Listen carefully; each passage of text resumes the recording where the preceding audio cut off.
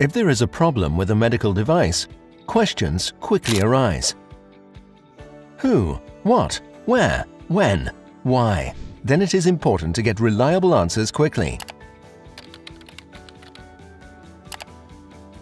This is why there are regulations for Unique Device Identification, abbreviated to UDI. These regulations require medical device manufacturers to make their products globally identifiable, make them scannable and include the product data in a UDI regulatory database. UDI already exists in the United States and in the European Union, but with one difference. The European UDI regulations also require a basic UDI-DI.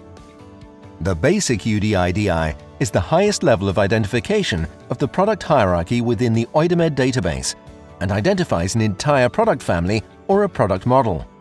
In a product family, individual products are combined in different variants and with common characteristics.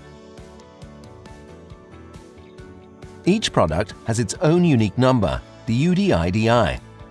Not to forget, a UDI-DI must always be linked to only one basic UDI-DI.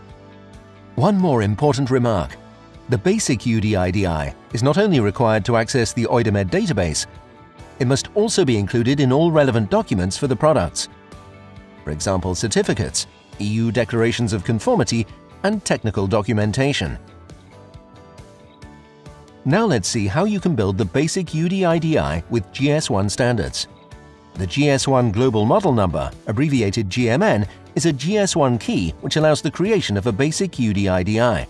The first part is the GS1 company prefix, which is uniquely assigned to a GS1 member company.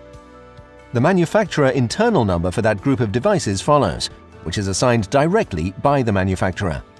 At the end of the GMN, there are two check characters, which can be generated using the GMN calculator. And the global model number, that is the basic UDI-DI, which can be up to 25 characters long, is ready. Important note, the basic UDI-DI does not appear in text form or in a barcode on the products or product packaging. This means that it has never been encoded in a barcode, but is used in the EUDAMED database and in relevant documents. We hope to have answered most of your questions on the GMN. More information? Go to gs1.org.